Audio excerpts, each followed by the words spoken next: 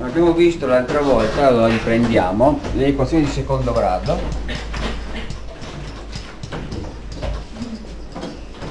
Si presentano nella forma ax alla seconda più bx più c uguale a 0 con la condizione che a il coefficiente di x alla seconda non sia nullo. Abbiamo visto che i coefficienti a, b e c concorrono a determinare la grandezza delta discriminante b alla seconda meno 4ac il cui segno distingue o discrimina meglio da cui il nome la presenza o meno di soluzioni reali. Abbiamo visto che se il delta è maggiore di 0 abbiamo due soluzioni. Poi vediamo come sono espresse. Se è uguale a 0 distinte se il delta è nullo ho due soluzioni coincidenti che sono lo stesso numero se il delta è negativo nessuna soluzione. L'espressione delle soluzioni dell'equazione quando ci sono quindi se il delta è maggiore o uguale a 0 i due numeri x1 e x2 che risolvono l'equazione sono dati da meno b più o meno la radice del delta diviso due volte a ok? fin qua abbiamo già visto abbiamo anche visto che eh, posto che le soluzioni ci siano cioè che il delta non sia negativo allora se indichiamo con x1 più x2 la somma s delle soluzioni questa può essere espressa semplicemente come meno il, il rapporto tra il coefficiente b e il coefficiente a nell'equazione. Cioè, se prendo l'opposto di questo numero diviso questo, ho la somma delle soluzioni. Mentre il prodotto P, x1 per x2, è il rapporto di C fratto A. Il terzo coefficiente diviso il primo vi dà il prodotto delle soluzioni d'accordo? Questo, queste proprietà, queste relazioni possono essere utili per costruire un'equazione che abbia determinate soluzioni. Se per esempio mi serve costruire un'equazione che abbia due numeri come soluzioni, è sufficiente che io ne calcoli la somma, ne calcoli il prodotto e poi da questi trovo i termini, i coefficienti dell'equazione. Perché? Perché torniamo all'equazione di partenza.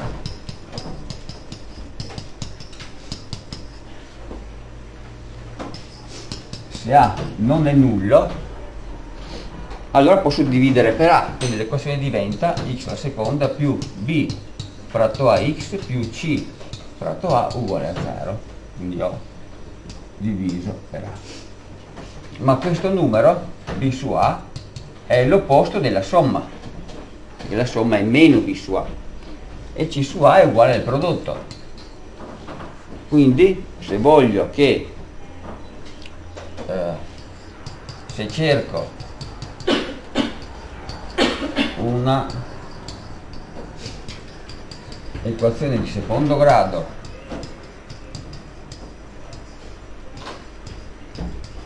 con x1 e x2 come soluzioni allora è sufficiente.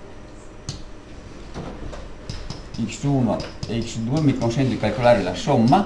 X1 più x2 il prodotto p x1 per x2 e quindi l'equazione che cerco sarà x alla seconda meno la somma delle due soluzioni per x più il prodotto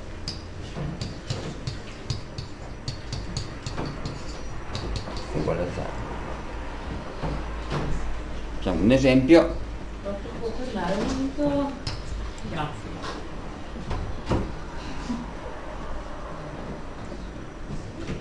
diventate, scegliete due numeri qualsiasi come soluzioni. Ecco, se voglio che la prima soluzione valga scegliete un numero 2 la seconda soluzione? 3 allora la somma? 2 più 3 5 il prodotto. 2 per 3 6 l'equazione che cerco è x alla seconda meno la somma x più il prodotto uguale a 0 cioè x alla seconda meno 5x più 6 questa è la mia equazione. E ovviamente tutti i suoi multipli è facile verificarlo. La riscrivo. Qui ho A vale 1 B vale meno 5 C vale 6 il delta è 25 meno 24 cioè 1 quindi ho due soluzioni. X1 2 sono meno b cioè 5 più meno radice di delta che è 1 diviso 2 volte a che è 2 quindi 5 più o meno 1 mezzi 5 più 1 6 diviso 2 3 5 meno 1 4 diviso 2 2 2 3 sono soluzioni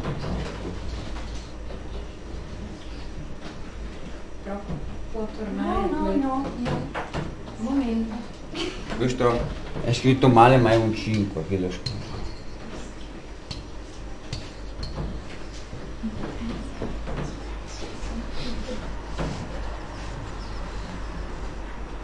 realtà l'avevamo già visto.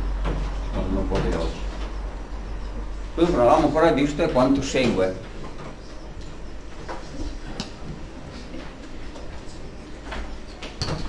Torniamo a eh,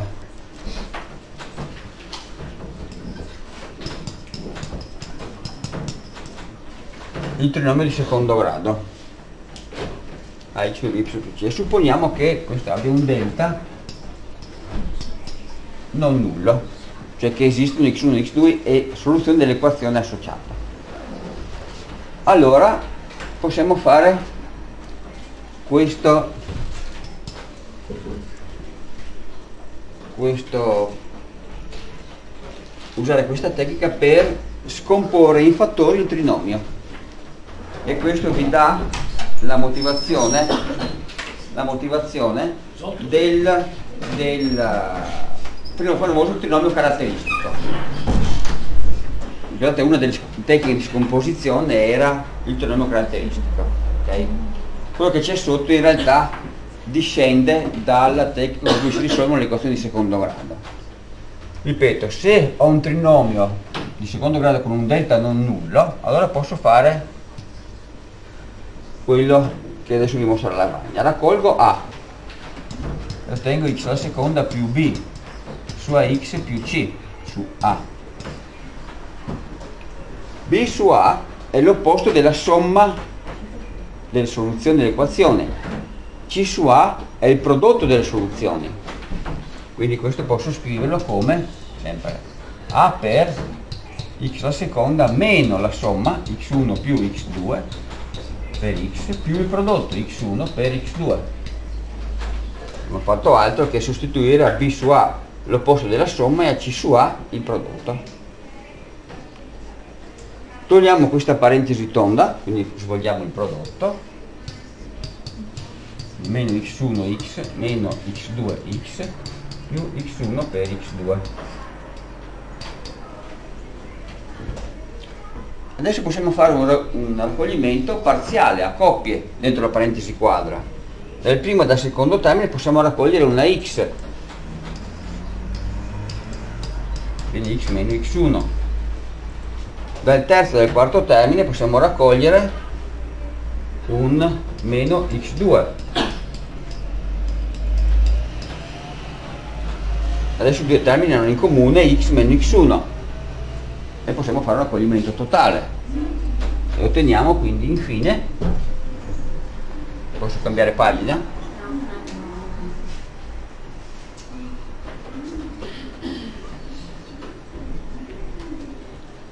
Abbiamo quasi finita.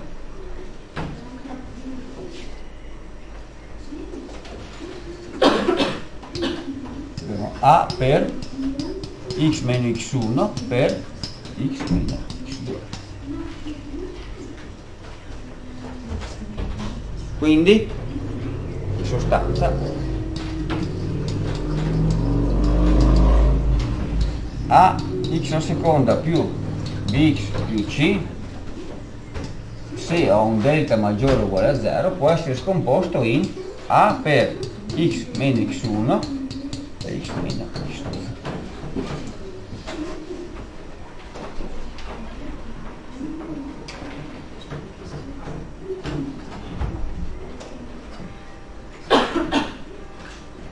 cioè il prodotto di due parentesi del tipo x meno un numero dove la somma di quei due numeri è l'opposto del rapporto b su a e il prodotto è il rapporto c su a. Questo si può fare ovviamente solo se il delta è maggiore o uguale a 0, cosa che all'epoca del teorema caratteristico non potevo dirvi perché la condizione del, del fatto che il fenomeno sia scomponibile o meno è legata a questa condizione. Non sempre il trinomio caratteristico si può utilizzare, eh. non è sempre scomponibile. Quando è che è scomponibile? È scomponibile solo se i coefficienti del trinomio hanno una particolare caratteristica, cioè quella di avere un delta non negativo. E questo, ahimè, nel metodo del trinomio non può essere spiegato, perché a quell'epoca le questioni di grado non avevamo ancora fatte. E questo secondo me è uno spreco. È un metodo che non siete in grado di decidere se potete utilizzare o no. Adesso invece lo sapete.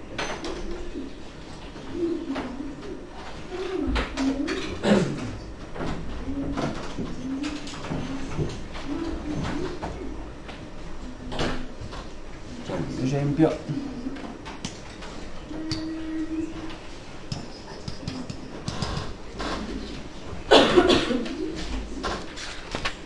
supponiamo di dover scomporre.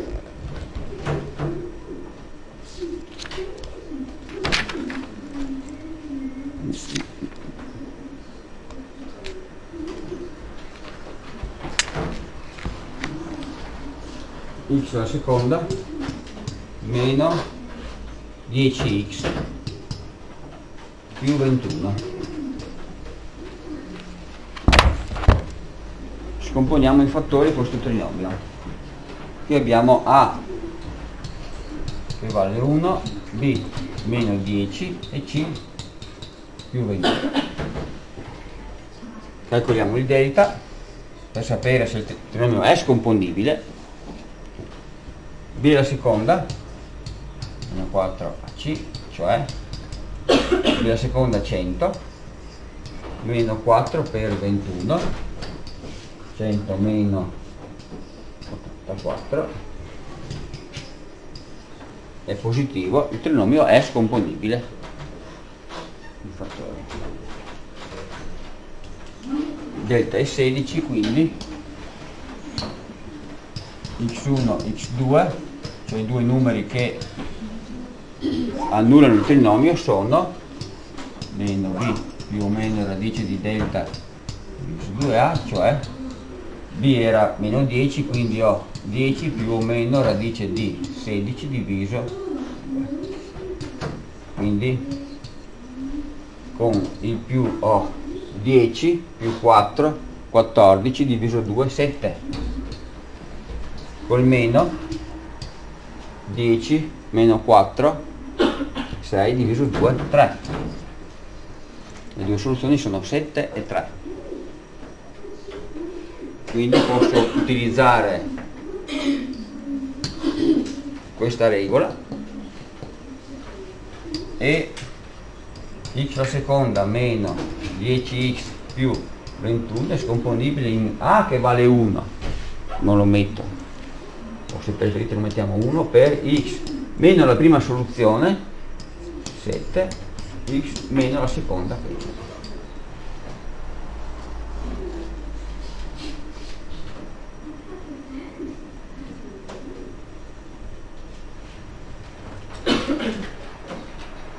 Se invece, attenzione, il delta è nullo, non c'è modo di scomporre il trinomio, quindi me lo tengo così com'è.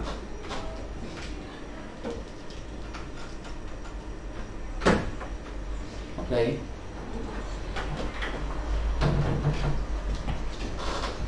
Per esempio,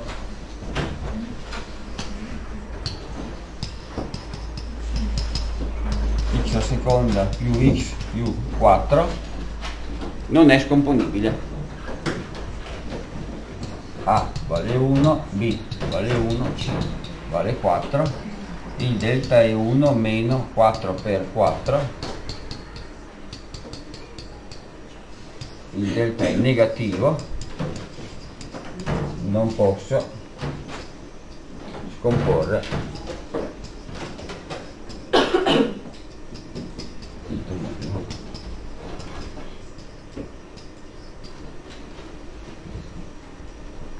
Perché non esistono x1 x2 da utilizzare.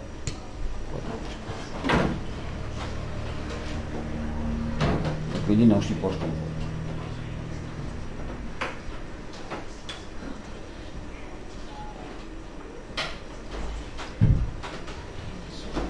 d'accordo?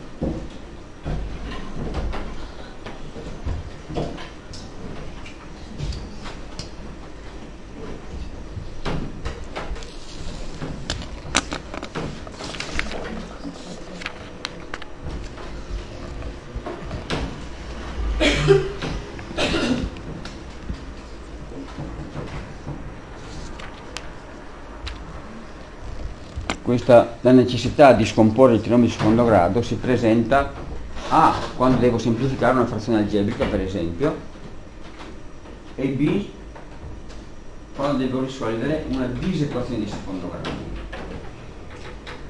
In quel caso la scomposizione mi dà la chiave di volta per poter risolvere. Se non ci sono domande, sta per suonare